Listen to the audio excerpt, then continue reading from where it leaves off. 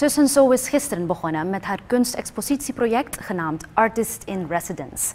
Brian van het Kruis, directeur van en Zo, haalde bij de opening aan dat voor een periode van tien weken er kunstwerken van diverse Surinaamse kunstenaars zullen worden tentoongesteld op de eerste verdieping van en Zo. De bedoeling van dit project is om kunstenaars een podium te bieden om hun werk te delen met het publiek. De tentoonstelling zal volgens Van het Kruis onder strikte COVID-19-maatregelen geschieden.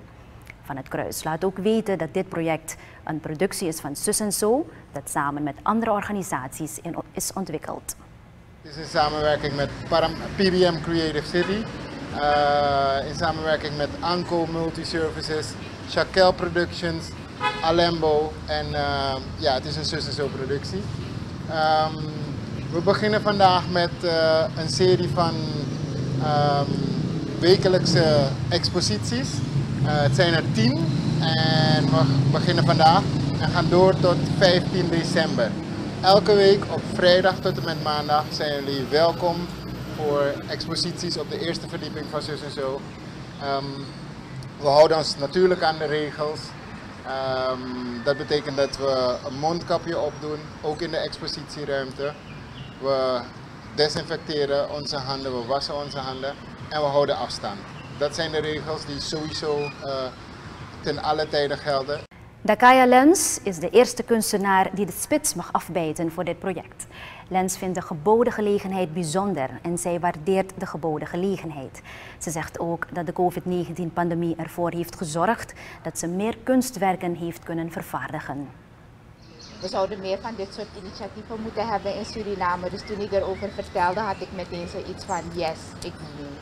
Als ik het in de Surinaamse zin mag zeggen, asachari bro, dat het um, je rust geeft. Um, er gebeurt heel veel om ons heen. Dit is een uh, veel jaar geweest, niet alleen in Suriname, maar wereldwijd.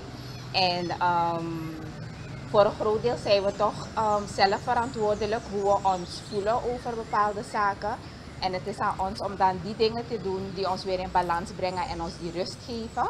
En um, ik wil ook dat mensen dat ervaren als ze dat zien. Eigenlijk wil ik het niet invullen, het is wat het meebrengt. En uh, ieder is vrij om. Het is in ieder geval een positieve boodschap die uitgedragen wordt. En het proces is een, een, een persoonlijk proces. Mijn eerdere werken waren vooral kleuren binnen de lijntjes. Um, maar op een moment dat je niet meer kan plannen en, en veel voor je wordt bepaald, dan um, valt je planning een beetje in het niet. Dus er zijn ook heel veel werken waarbij het uh, veel vrijer en spontaner is. Kunstenaar Dakaya Lens. Ze sprak gisteren op het terrein van Zus en Zo bij de opening van de kunstexpositie Artist in Residence. Het project loopt tot en met december, waarbij rond elk weekend werken van andere kunstenaars te bezichtigen zijn.